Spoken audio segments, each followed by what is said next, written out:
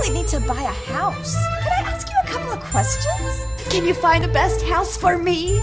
Will you give me a list to pick from? Can you refer a good inspector? Detailed house info? Open houses? Negotiation? Market info? Certified agents?